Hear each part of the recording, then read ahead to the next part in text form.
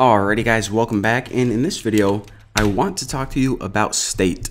Now state is pretty much a way that you can customize a component and if you guys are thinking, wait a minute, we already can do that with properties, there is one big difference between properties and states of your component and that is states, they can change.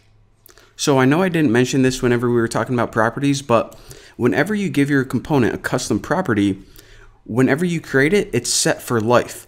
So for example, say that you have this button component and you pass it in a property to make the background color green. Well, that button is going to be green for the rest of its life. Now, say that you wanted to make a button that could change colors every time the user hovered over it. Well, you couldn't use properties for that because properties, their values can't change. Whenever you have a value that needs changing on your component, you need to use state. It sounds confusing, but it's actually really easy you can customize your component using properties or states. Whenever something is going to stay the same, use properties. Whenever it changes, use states. All right, fantastic. So let's go ahead and make one using states. So I'm just going to go ahead and make um, a component called checkbox because you know whenever you have a checkbox, it can either be checked or unchecked. So what we're going to allow the user to do is click that and then we'll have a bit of text that changes. It says, hey, you checked it, hey, you unchecked it, hey, you checked it, hey, you unchecked it. So since that bit of text is going to change, that's why I decided to use state instead of property. So just going to name it checkbox and set it equal to react create class. All right. So I guess first of all, we can just go ahead and render out the basic um, kind of structure of it. So again, like I said, what I'm going to have is I'm going to have a checkbox and then under it, I'll have that uh, bit of text that says, hey, it's checked, hey, it's unchecked. So pretty much two different pieces to it. So for the message, which is pretty much just going to be equal to checked or unchecked, um, I'll just go ahead and do this. MSG. And now I need an if statement. So the way you access states are pretty much the same as properties, except instead of props, you just use state. So this state and later on, we'll make one called checked. And we're to say that this can either be equal to true or false. And I'll show you guys how to actually set that in just a second. So if it is checked, then this message, we're just to say equal to checked. And then we'll say else. Message is unchecked. Alright, so there is our basic logic right here. And before we go further in creating this component and actually rendering out um, any HTML, I want to build another function right here to show you guys how to set the initial value of your states. So there's a built-in function and it's called get initial state. So whenever you call this function, was it going to auto-populate for me? Ah, oh, come on, mate. Just do it.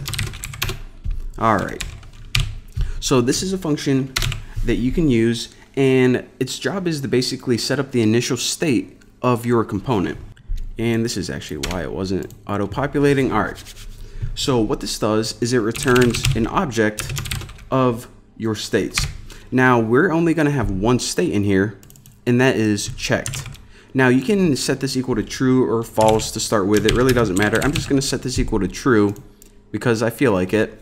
And essentially what I'm going to do is I'm going to set it up where whenever this is true, then that means that the user has a checkbox checked. If it's false, then it means that they didn't check it. So it's good for like filling out forms and stuff like that. All right, so right now we have one state checked and it's equal to true. And if you want to add another one called like bacon and set it equal to 32, you can. You can add as many states as you want, it doesn't matter. So now that we have a state variable, what we can do now is actually return some HTML. So return, and this is going to be on multiple lines, so I need that, and all right. So again, like I said, we're going to have a checkbox and then just some text below it. So since we're going to have multiple elements, we need to wrap them inside a parent div. Now for your input, the type of this is going to be checkbox. Now, how should I set this up? All right, I'm just gonna make it really basic at first, just so we make sure that something is displaying on the screen, and then later on, uh, I'll show you guys the cool stuff. So this is to be the checkbox, and it's a valid checkbox right now. Now beneath it, I'll say uh, checkbox is, and then this will either say checked or unchecked. Now, in order to do that, all we need to do is we need to output this variable, which is MSG. So MSG, boom roasted, there you go. Now to actually render this, I just throw it in my render function and let me go ahead and refresh this and check it out. So right now it says checkbox is checked. Now why does it say that? Well, because we didn't add any logic really, we just went ahead and we rendered this component and the initial state of checked is equal to true. So then whenever it rendered, it said, all right, if this is checked, which it was, then the MSG, which is the message, set it equal to checked. So it says checkbox is checked. And again, if this was false, then this would say checkbox is unchecked. Just like that. So we got our state working properly, but now we have to actually add the brains to make it work correctly. So let me change it back to true. And what I'm gonna do after this is I'm gonna say, all right, you see how whenever we load this page for the very first time, the default behavior of HTML and Chrome is to have these checkboxes unchecked.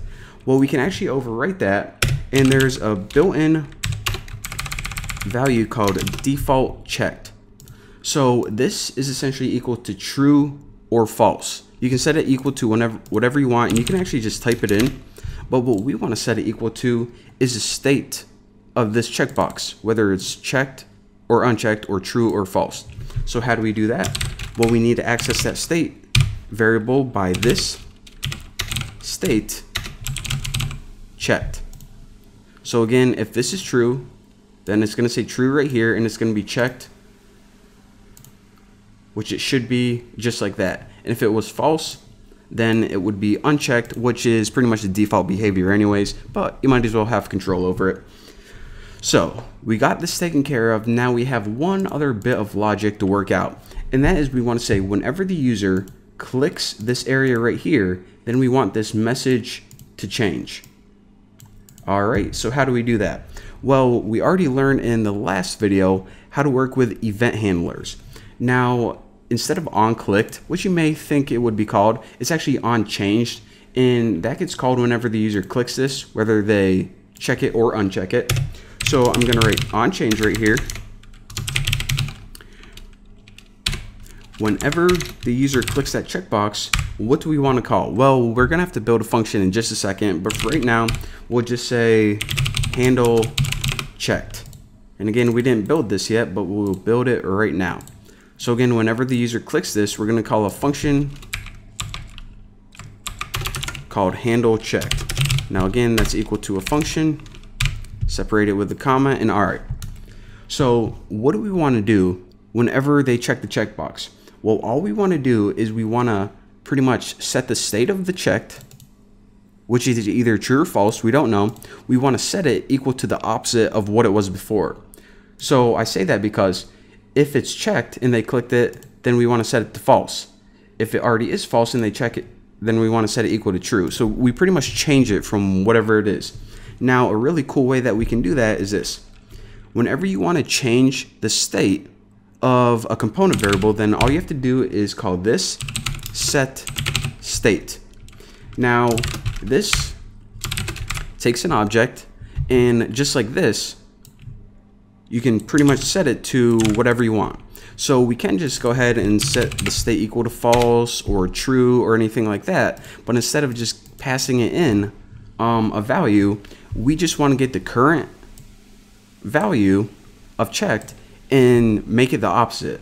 So how do we do this? Well, we already know how to get the state by using this, this state checked. And in order to flip it or give the opposite, we just write ex what is it ex exclamation mark in front of it basically the, the symbol above the one all right so what this is going to do again whenever we click this is it's going to get the current state of the checkbox is it checked or not is it's going to set the new state equal to the opposite of it that's it so now let's go ahead and refresh this and check it out it now toggles unchecked and checked, unchecked and checked, boom, boom, boom, boom. Now this is another important thing that I want to point out. You see right here, all we did is we set the state. All right, but why does it automatically re-render? I mean, usually in most programs, you would have to be like, all right, so we're going to change the state and then we need to explicitly tell React, all right, now we have to redraw this piece of the DOM, this piece of the web page. But the cool thing about React in components is you don't need to explicitly say whenever your state changes to redraw a certain part of your web page. It automatically watches for your states and where they can change. And whenever your state changes, that part of the web page gets redrawn automatically to fit that. So all we have to do is we worry about changing states and all the rest of the hardware gets taken care of for us. So look at this. We now got a custom part of this component that can change. So by default, it's checked. And whenever we uncheck it and check it again, it redraws or changes. Pretty sweet, huh? So again, just to sum things up, state is a lot like property. But whenever you use property, you can't change it like we're doing right here. So whenever you just want to set a background color or maybe throw someone's name in there and it's going to be that for the entire lifetime of the component, then use properties. Whenever you have part of your component that changes, in this example, this bit of text right here, then use state. Boom roasted. Thanks for watching. I'll see you later.